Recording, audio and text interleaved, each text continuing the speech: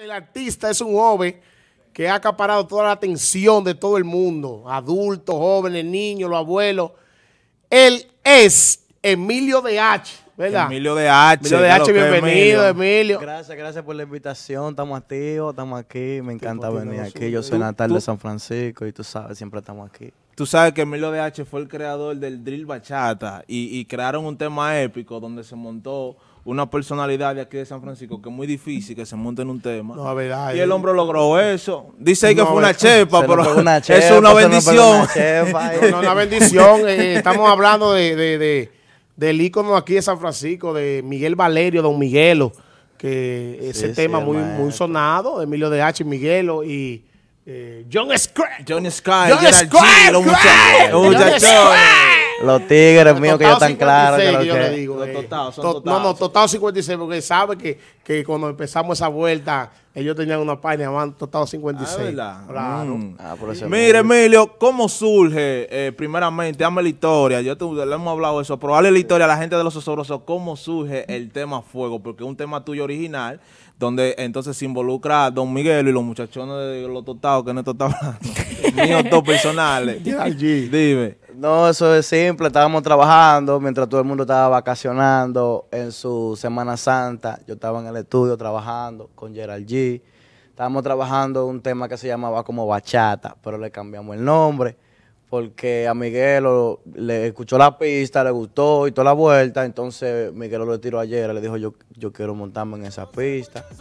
Vamos a trabajar. Entonces yo le dije, cójalo como que es suyo y haga lo que usted quiere. Y nosotros le caemos atrás y fluimos y ahí estamos. a Oiga, fuego. porque la idea era tuya.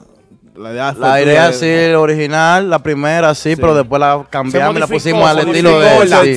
Ahora no, porque Sí, no- nos ad- nos adaptamos a él, no a su idea. A lo, a lo que el otro diga. Claro, eso es es lo que diga, pero Era- tú... No, porque él no es, prácticamente no es lo que él diga, sino porque al final mi parte quedó igual, No, no, no. Intacta. ¿Sabe lo que, lo que me refiero a eso? Que es un tipo de experiencia, que es productor también. Tú sabes, le da Ya, su to- ya, toquecito a la, a la música. Sí, exacto, no, porque que hay que llevarse de la experiencia, porque también no es lo que uno diga siempre.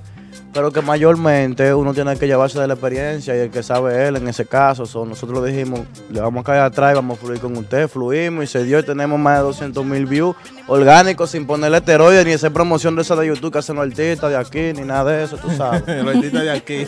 No, no, pero, pero eso no es nada. Eso No, no, es la, nada. la- la promoción que hace, porque hay una promoción diferente a lo que hacen los artistas Claro, grandes, claro. No, pero ese tema para mí, de aquí. para mí ese tema, aparte de que eh, ustedes lo hicieron orgánico, que ha corrido orgánico, yo creo que debieran ponerle más asunto, ustedes mismos, los artistas, los que salen ahí. ¿Tú ves? No, porque el tema, se el tema trabajó. Lo que pasa es que tú no puedes forzar el mingo. Eso se deja así. Porque el tema no se está trabajando y sigue corriendo solo. Sí, pero óyeme, eh, eh, la forma del drill, ¿tú entiendes? Que no, yo no lo había escuchado a los muchachos de aquí y me excusan porque somos con los, los líos. Yo escuché esa bach- eh, bachateo eh, en ese coro, o sea, Emilio de H, Yera. Es la realidad, pues si yo no lo escucho en otro lado, no puedo decir, no, fulano lo hizo primero. Exacto. ¿Tú entiendes? Después fue que salió Martín Lora con una vaina, pero ya lo de ustedes estaba primero. ¿Quién es? Martín Lora. Salió por ahí con una Eh, guayaba, una vaina, pero tú sabes que no estamos no estamos en gente. Estamos aquí. No, no sé qué, un diputado. 056, estamos aquí, no Es estamos en gente. diputado. ¿Eh? Hombre, no, si menciona un político aquí, tiene que pagar. No, no, no, no. Ah, ok. No, Em- pero- Emilio, tú eres de aquí, nativo de San Francisco. Sí, sí, yo nací aquí, un par de calles de aquí en el, en el Nacional, tranquilo. No, ya, ¿de qué sector eres?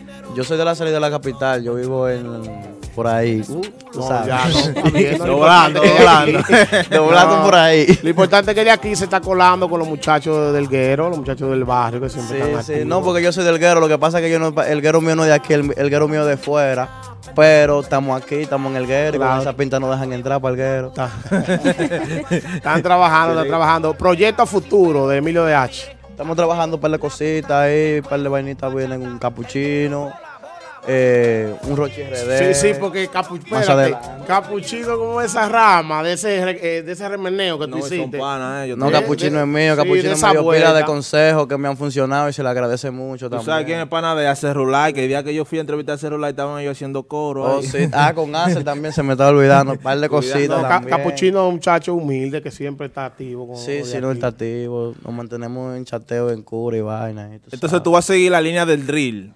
Vamos a trabajar el drill normal, seguimos el drill porque no está funcionando, pero también vamos a implementar lo que es otros estilos de trap, porque el trap tiene un par de ramas diferentes, al igual que el rap, al igual que el reggaetón, que tiene una subrama que viene siendo el dembow, pero ya el dembow dominicano lo puso como más de nosotros. Una marca. Y un sábado que una vaina, mm, como que si no es nosotros, no, no es eso. No es eso. No, no está bien que, que el muchacho. Sí, sí. Camila, eh, con tus nervios tú puedes hacer cualquier pregunta. Voy bien otra vez, Dios mío. Claro, no, pero Ey, pero ¿y pregunta, por qué tienen que estar nerviosa? No, es que ella ya me la tiran ahí todita. Mira, Emilio, aquí pues nos ven personas obviamente de distintas edades. Dos cosas. Uno, ¿quién es Emilio DH? Para que las personas te conozcan un poquito más. Y también, ¿qué diferencia Emilio DH de los demás en el ámbito del género urbano? Bueno, lo que diferencia a Emilio DH de los demás es el nombre Emilio DH, que ellos no lo tienen, eso es una parte. Y mi apellido artístico, que es DH, que significa Dominican Hustler en español, joseador dominicano, que es- entonces yo me considero que yo me diferencio de ellos simplemente con la forma de yo josear el trabajo y el empeño que yo le pongo a las cosas que yo hago y por eso salimos con esa calidad y esa imagen impecable que tenemos 4K en vez de salir HD. Wow. me de salir HD. Tú tuviste uno- unos problemitas con los muchachos de que son de aquí, pero están radicados allá en el norte. Cuando salió la vaina del drill con bachata, de quién lo hizo primero, no sé si tú te enteraste en estos flow de eso, de que había una pequeña Pero guerrita, de que, de que- Pero que ¿quién? nosotros somos los, nosotros somos de que, de que lo, lo, lo, ¿cómo era? Sí, La vaina del drill. Yo le escuché primero a él. Ves, pero ¿quiénes Pero fueron te estoy diciendo que salen, salen, salen, salieron más gente a relucir de que ellos eran los que posicionaron el drill, los que te lo trajeron por primera vez a República Dominicana. Él sabe. Yo no sé en- decirte porque puede ser que ellos, han- ellos hayan tenido problemas conmigo, pero yo con ellos no, porque simplemente no ando No, mirando para los lados. clavo, pim, yo estoy enfocado en lo mío, mi No, vaina. puede ser uh. también, Emilio, puede ser de que ellos lo hayan tirado primero, pero no con el éxito que tú has tenido. ¿No entiendes? No, es que, ¿cómo te digo? Al tiempo que yo saco mi música, mi trabajo es bien pensado, bien trabajado. Eh, no, nada es que a lo loco, bien meticuloso. Todo yo lo hago bien. So, cuando este disco vino a salir, teníamos más de seis meses que estaba trabajando ese disco. Ya, que no a lo que es un producto que están tirando, que no a lo loco. Porque eso es Está como que tú vayas a tirar una, una marca de salami, un ejemplo, para ponerlo fácil, una marca de salami, tú no vas a venir y que, que tú vas a hacer un salami, lo vas a envolver en su vaina de salami y lo vas a tirar para el mercado, eso no es así. Tú tienes que hacer una campaña publicitaria, tienes que buscarle una imagen al logo del salami y todo, eso no es a lo loco. Claro, no, Claro. no, bien pensado, tiene que empezar así como muchacho. Claro, tirar tú, tú ves que, que los amigos tuyos no hacen, que hacen una Pero canción todos mío, los él días. mío, porque que tú, él quiere ponerme, porque... No, que tú. Esa es lo que te está diciendo, trabajo ¿a quién te lo está fuerte, porque él diciendo? cree que uno está todavía como una Cla- No, no, no, no. Lo sé. que se quillan porque uno hace un comentario aconsejando los manitos, tú ves. Y se quillan, no, quédate con lo otro. No, porque a mí no me importa que coja el consejo el que lo quiere, el que no lo el que no quiera progresar, que no lo coja, porque tu, tu, tu límite va a ser el, pro- el propósito que tú te pongas a donde tú quieres llegar. So, tú tienes que hacer lo mejor de ti para tú llegar lo más lejos posible. Si no, tú Mira, no llegas. eh, tú sabes que ya se abrieron la discoteca y ese tipo de cosas, tanto aquí como allá en el norte. Tú Sí. estás tocando party ya heavy. Eh, aquí no, ahora mismo no, pero ya allá hay par de party, par de vainitas, que allá que uno se acerca y se pone vainita muñeca, tú sabes. Se recoge y de toda la vaina. Que se ¿eh? compra un par de cadenas más de las que tú tienes. Puede ser, no, el sé. El motor mío se arregla con una, con una cadena de esa de la que él tiene. Señores, eh, Emilio, las redes sociales. Eh, me pueden seguir en Instagram, Facebook, Twitter, YouTube como Emilio DH56.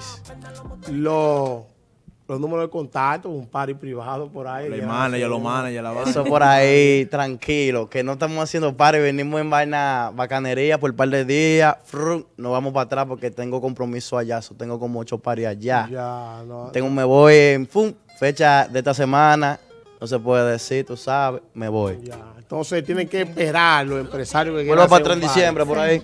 En diciembre, tienen que esperar en diciembre para contratar el hombre. vuelve en diciembre. Ya ustedes saben, Emilio, muchas gracias. Estamos Gracias, por la aquí. invitación. Y este programa siempre abriendo la puerta a los talentos.